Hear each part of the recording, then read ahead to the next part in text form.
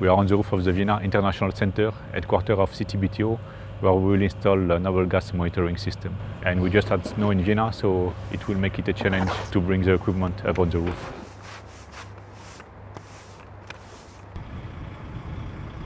Yeah, okay.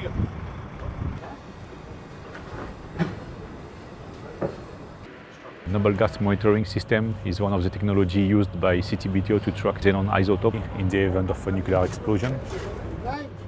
Xenon isotope will be released and these are the one we are tracking uh, with this noble gas monitoring system.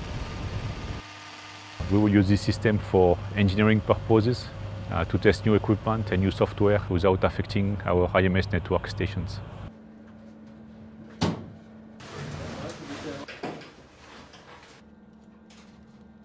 When the IMS network will be completed, there will be 14 noble gas stations.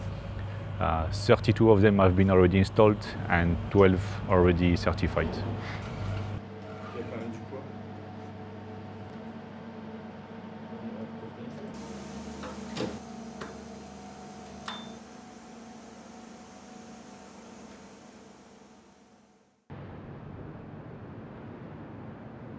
The station has been installed and is up and running, so we will see how it is performing today.